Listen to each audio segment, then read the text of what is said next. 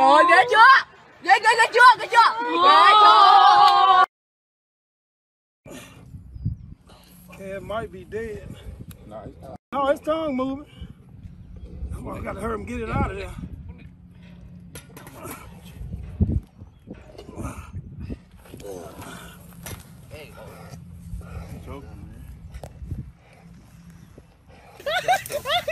Trời ơi, lụm chơi. À, từ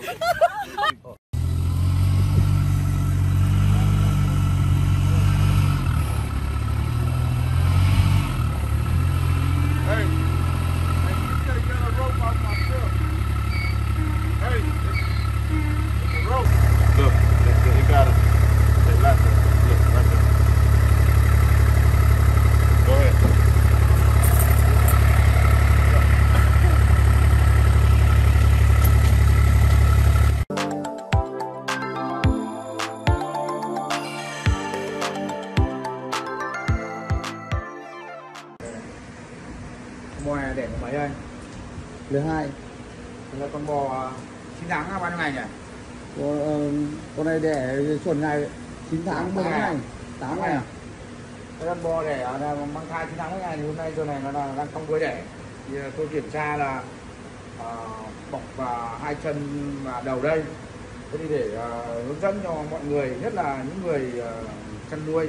Có thể những người nhiều người đỡ đẻ rồi nhiều người chưa đỡ đẻ nhiều người sau khi cái sử dụng cái à, cái cái càng gọi là hỗ trợ đẻ thì ờ, trước tiên Đây là cái càng hỗ trợ đẻ bà con nhé. Đấy.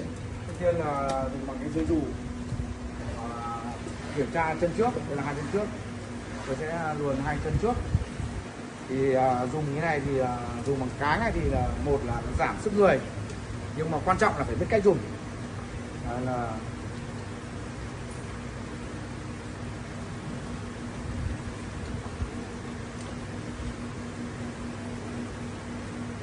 Cách dùng quan trọng lắm nhé bà con nhé. Bà con chú ý nhá. Còn chú ý uh, bác sĩ đảm hướng dẫn.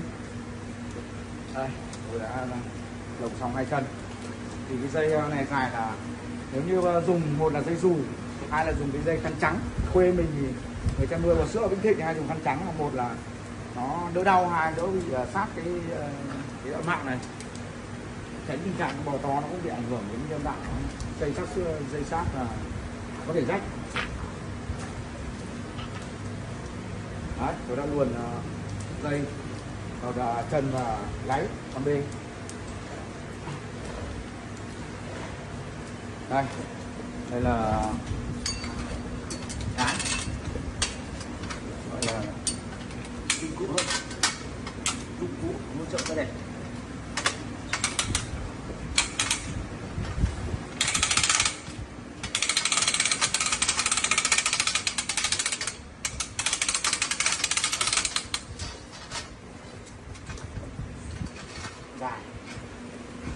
đây là tự chế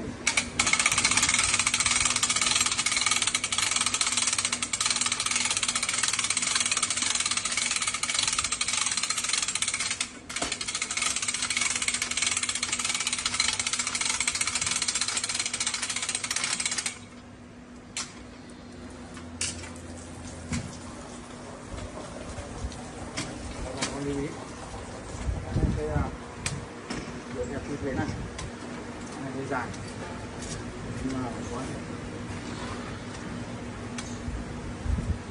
Đấy. cái này thì rất dễ. Ai làm được. Một cái khâu quan trọng là là chúng ta dùng kỹ thuật. Ví dụ con bò đang đứng này.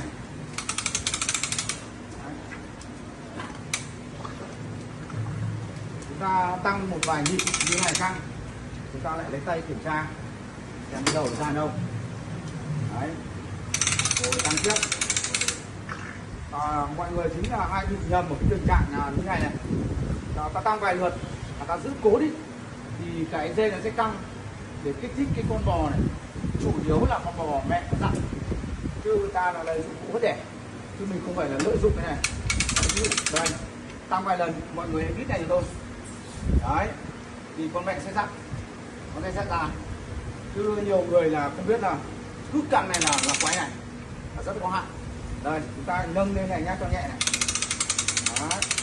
giữ, thằng ta vít này vít như này thì con bò mẹ sẽ căng này bò mẹ sẽ dặn các cơn dặn. Thì một cơn dặn của bò mẹ thì bằng 10 người kéo Đấy, mọi người chú ý nhé đấy. Được đây là nhẹ. Đấy. Còn như này. Vì nhiều người là không biết là cố cho nên là sẽ ảnh hưởng một là con bò con hai là con bò mẹ. Nếu như ta bạn cố con bò mẹ có thể bị bó cơ và đổ thì gây ra nên bị giãn cơ và người con tình trạng là nó dậy trong cái này. Và cái lại này. Đấy. đây là dùng cho những người Đấy. khi ra đây rồi chúng ta cũng không phải ra vội. Để móc con bê này để tránh nhả như này. Đấy, như này coi là là một phương pháp là gọi là hô hấp con bê luôn Làm chậm nhé.